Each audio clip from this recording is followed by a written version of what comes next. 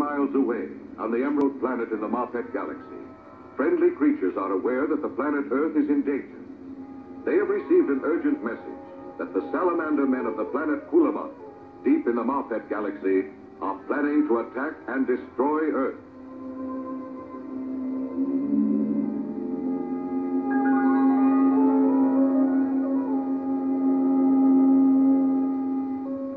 Here the Emerald Men confer on what must be done. They are aware that the atomic destruction of Earth could contaminate their own atmosphere with radioactivity.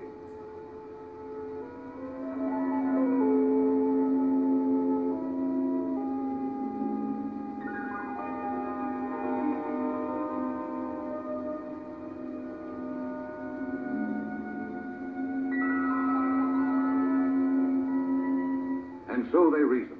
In order to save themselves, they must save Earth from the impending Kulamonian invasion.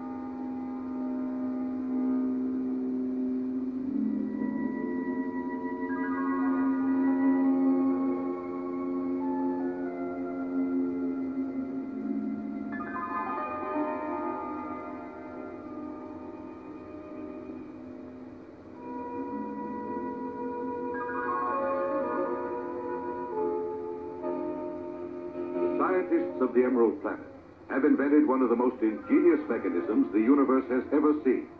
Called a globe meter, it is carried on the wrist.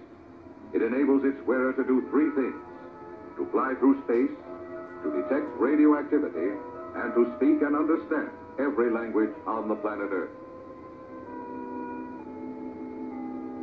Finally, this great forum of the Emerald Hierarchy reaches a decision. In order to save Earth from the Kulamonian attack, they must once more present the globe meter to one of their fellow creatures and send him to Earth. He is the creature made of the strongest steel, the creature who can disguise himself as an Earthling. He is the creature known as Starman.